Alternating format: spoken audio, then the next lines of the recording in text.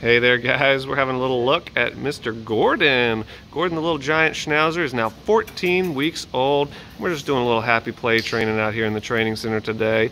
He doesn't have a ton of experience out here on the open floor with more distractions and, and more things to, to have to ignore in order to focus on his handler.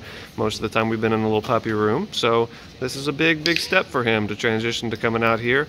And you can see he is rocking it. Off to the races with a beautiful start. This little puppy is super focused. Oh my goodness. Clumsy, clumsy, clumsy. And that's what we expect from a little 14 week old giant schnauzer puppy. But he's super spunky. He's enthusiastic. He's willing to please. You can see that focus on him. You know, he's not perfect yet. We don't expect perfection at this point. Very, very, very young dog. And uh, what we're looking for is just this enthusiasm, willingness to try hard and figure out what is it that these people are asking me to do? How do I earn this food in order to uh, to survive and thrive? And Mr. Gordon is thriving. It's in a great puppy raiser home at this point, so he's getting a lot of exposure, getting the farm life, getting around other animals.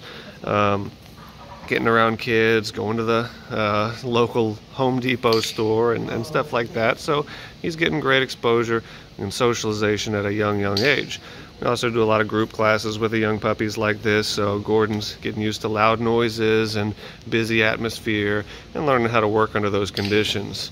So Mr. Gordon showing all his behaviors that he's learned in a very short period of time with the shake and the spin and the bark on command, all of this little stuff that we like to put. This is our foundation work. We're laying the foundation, building bricks on a super puppy.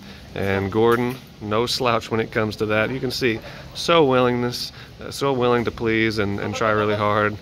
Already learning how to be a little athletic uh, puppy. So like everything about Mr. Gordon so far and be looking for more content to come in the future.